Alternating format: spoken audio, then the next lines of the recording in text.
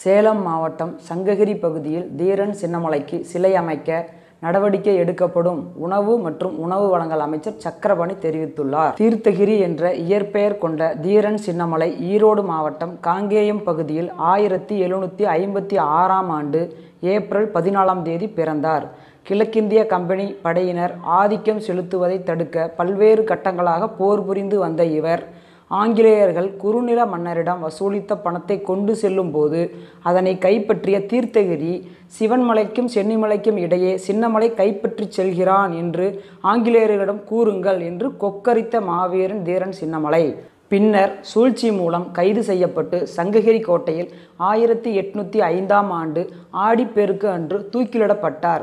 அவரை பெருமைப்படுத்தும் விதமாக ஆண்டுதோறும் தமிழக அரசின் சார்பில் ஆடிப்பெருக்கு தினத்தன்று நினைவு தினம் அனுசரிக்கப்படுகிறது. அதன்படி சேலம் மாவட்டம் சங்ககிரி மலைக்கோட்டையில் தீரன் சின்னமலை தூக்கிலிடப்பட்ட இடத்தில் அவரின் திருவுருவ படத்திற்கு தமிழக அரசு சார்பில் சுற்றுலாத்துறை அமைச்சர் மதிவேந்தன் மற்றும் உணவு மற்றும் உணவு வழங்கல் துறை அமைச்சர் சக்கரபாணி அவர்கள் ஆகியோர் மலர் தூவி மரியாதை செலுத்தினர். தொடர்ந்து எம்பி சின்ராஜ் சட்டமன்ற உறுப்பினர் ராஜேந்திரன் சேலம் மாவட்ட ஆட்சியர் கார்மேகம் உள்ளிட்டோர் மலர் தூவி மரியாதை செலுத்தினர்.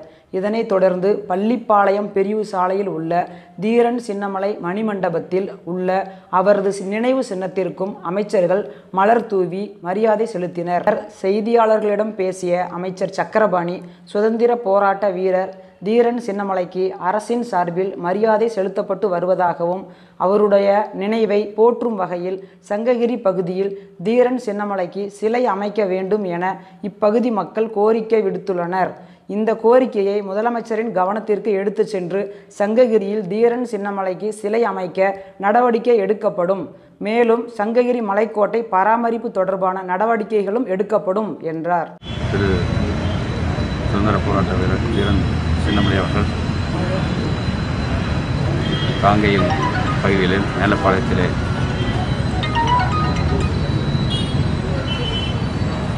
Thank you. வரலாற்று சிறப்பு வாய்ந்த பிறந்து அவர் இளம்பையிலே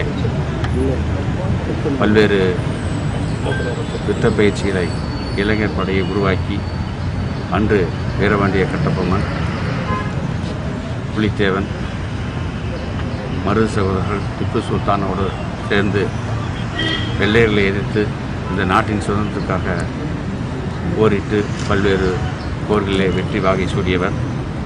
இந்த நாட்டிற்காக பல்வேறு தியாகங்களை செய்தவர்.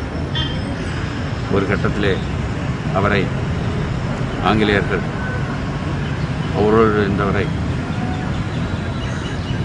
அவருக்கே அவரை வைத்து இவரை எந்த இடத்தில் இருக்கிறார் என்பதையெல்லாம் அறிந்து அவரை பிடித்து இங்கே கொண்டு வந்து சங்ககிரியிலே தூக்கிலிட்டார்கள். தூக்கிலிட்ட பின்பு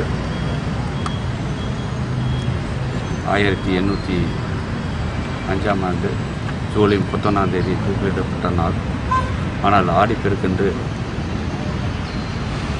அவருடைய நினைவை போற்றுகின்ற விதத்திலே அவருடைய புகழ் அஞ்சலி செலுத்துகின்ற வகையிலே வீர மரணம் அடைந்த அவருக்கு அரசின் சார்பில் ஆண்டுதோறும் இந்த நிகழ்ச்சி நடைபெறுகிறது. அந்த வகையிலே மாண்புக்கு தமிழக அமைச்சர் இன்று சென்னையிலே அவருடைய முழு உருவச் சிலைக்கு மாலை அணிவித்து மரியாதை செலுத்துகிறார். இங்கே நானும் பிரமிச்சவர் மதிவேந்தன் அவர்களும் இங்கே இருக்கின்ற மாவட்ட ஆட்சித்தலைவர்கள் மக்கள் பிரதிநிதிகள் இங்கே மரியாதை செலுத்துகிறோம்.